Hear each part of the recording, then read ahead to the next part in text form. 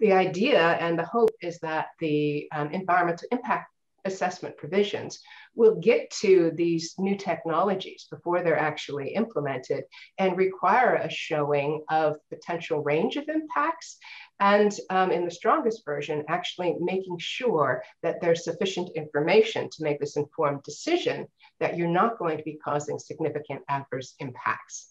Um, environmental impact assessments are commonly used for site-specific assessments of the potential impacts and alternatives.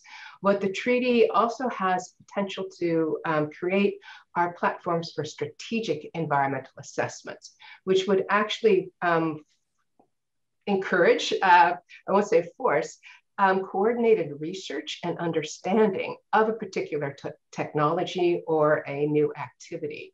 And this is where I really see as the important uh, role of the new treaty combined with the UN Decade of Ocean Science.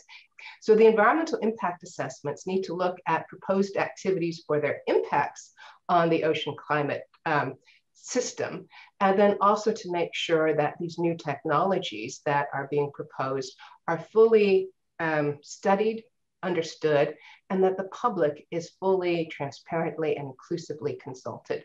So those are really the, the three key points of uh, precaution, humility, and uh, research to make sure that we have enough knowledge to make informed decisions.